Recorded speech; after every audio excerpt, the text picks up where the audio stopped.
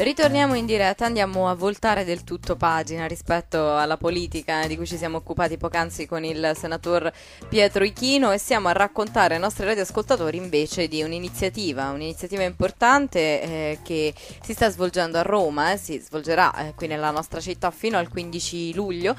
Eh, nello specifico siamo a Piazza Santa Croce, Santa Croce in Gerusalemme. Il titolo di questa iniziativa è Santa Croce Effetto Notte ed è patrocinata da Roma Capitale, dal MIBAC da Cinecittà Luce ed è stata romana 2012, ma soprattutto dall'esercito italiano. Noi abbiamo ai nostri microfoni il tenente colonnello Massimo Bertoldi. Buongiorno. Buongiorno anche Buongiorno, a lei e a tutti colonnello. gli ascoltatori. Buongiorno. Dunque, partiamo subito, eh, partiamo subito da questa iniziativa, partiamo subito dal programma. È la seconda edizione, no? Esatto, è la seconda edizione e devo ammettere che sta superando ogni nostra aspettativa. L'anno scorso abbiamo cominciato, è stata diciamo, la prima edizione, abbiamo fatto questa iniziativa in sinergia con gli amici del Ministero dei Beni Culturali, della Direzione Generale del Cinema. Siamo partiti così un po' in sordina, ma quest'anno devo vedere che c'è grande, un grande afflusso di pubblico. E il- probabilmente il luogo, il luogo è molto bello, è l'area archeologica adiacente alla Basilica di Santa Croce di Gerusalemme che molti romani conosceranno. È una zona un po' caratteristica, un po' all'interno, lì c'è la- la- l'area archeologica della Basilica Sessoriana e è un polo museale. In quella zona insiste il Museo degli Strumenti Musicali e due importanti musei militari, il Museo della Fanteria e il Museo dei Granatieri.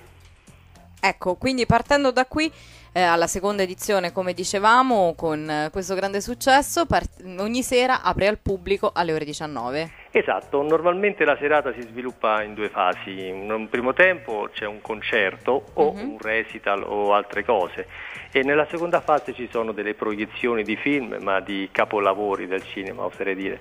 Il giorno di apertura c'è stato il concerto della banda dei Canatieri nella prima fase e nel- poi a seguire c'è stata la proiezione, la versione restaurata eh, in onore dei 50 anni di Il Sorpasso, un film Mm, del 62 sì. di Dino Risi, un bellissimo film, questo road movie che disegna un po' l'Italia di, di allora.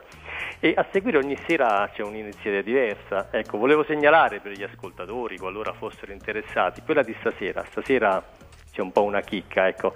C'è- nella prima fase c'è l'inno svelato. L'inno svelato è Che riduttivo chiamarlo recital, è una conferenza musicale, è un racconto, e innanzitutto è il relatore e il conferenziere del Quirinale, il dottor Michele D'Andrea. Il tutto con l'accompagnamento della banda militare dell'esercito italiano. Mamma mia, deve essere uno spettacolo veramente meraviglioso. Sì, è un po' una passeggiata musicale eh, nella storia del risorgimento, in questo nostro inno musicale, con delle comparazioni con gli inni di altri paesi, con altre canzoni, quindi veramente eh, una lezione, ma più una lezione, una piacevole chiacchierata.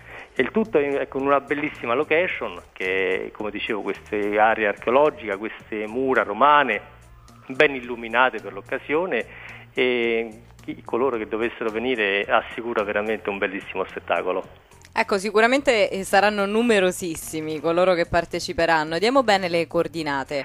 Sì, innanzitutto oh, lei l'ha già detto, comunque l'ingresso è gratuito, e il luogo è Santa Croce di Gerusalemme, esattamente a fianco alla Basilica, quello che conoscono tutti i Mhm. romani. Ci sono dei, dei soldati, delle soldatesse in uniforme che accolgono il personale, tutto il pubblico che accoglie, danno dei depliant, con tutto, c'è tutto il programma e accompagnano le persone che vengono nei loro posti, che ci sono circa 500 poltrone, quindi a esaurimento chiaramente c'è anche il posto a sedere.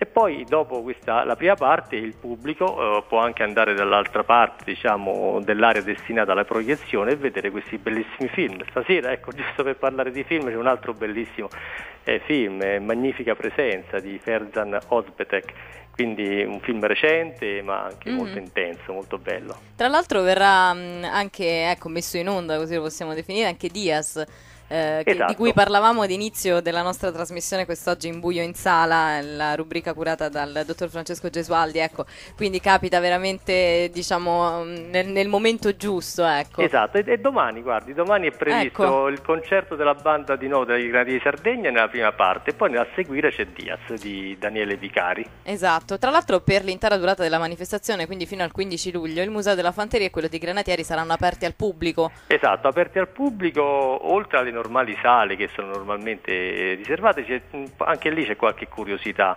Ci sono dei cimeli un po' particolari, adesso giusto per menzionarne qualcuno, c'è la bicicletta di Enrico Todi che, Mm. il che usò il famoso eroe della prima guerra mondiale durante la battaglia dell'Isonzo, quando lanciò la gruccia.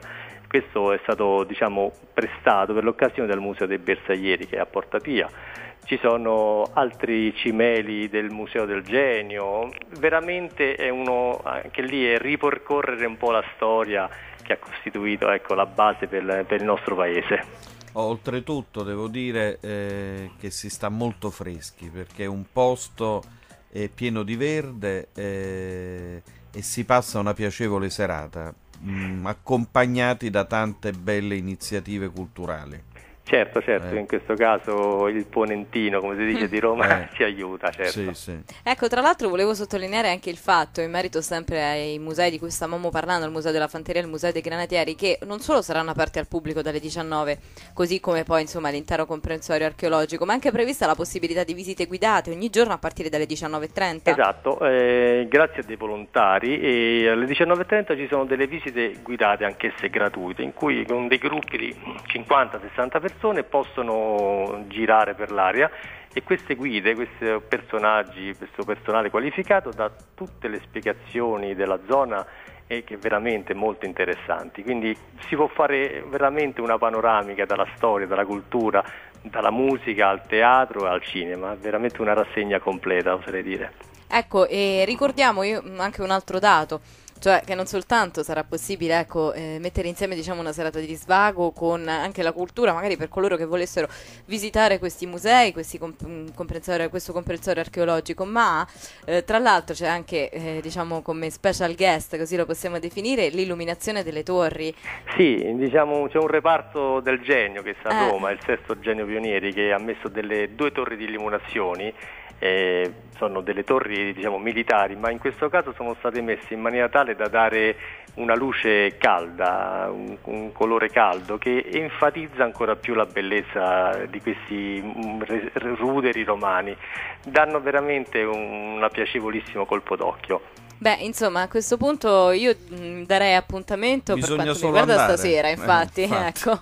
E quanto prima eh, continuare a recarsi, insomma, eh, a seguire questa mostra, ricordiamo ancora una volta Santa Croce, Piazza Santa Croce di Gerusalemme, fino al 15 di luglio c'è tempo, a partire dalle 19 fino alle 24 con eh, questa, la possibilità, insomma, di visitare le aree archeologiche, la possibilità anche di seguire film, documentari, concerti, una manifestazione praticamente a 360 gradi promossa dalla Direzione Generale Cinema Insieme all'Esercito Italiano, insomma, eh, con i Granatieri di Sardegna che hanno inaugurato questa iniziativa, con Verdone, 50 anni del sorpasso, insomma, sarebbe troppo lungo adesso stare ad elencare tutto, quindi io eh, ricordo ancora una volta eh, ai nostri radioascoltatori che c'è tempo fino al 15 di luglio per andare a Piazza Santa Croce in Gerusalemme.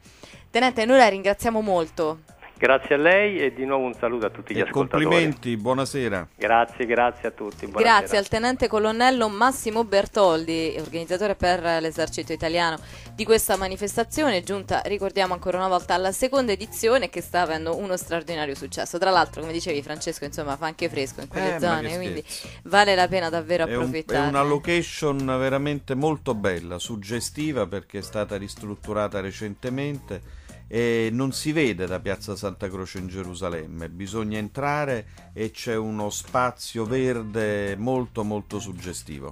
Perfetto, allora noi ci fermiamo qualche istante per una breve pausa e poi ritorneremo ancora per l'ultima parte della nostra trasmissione.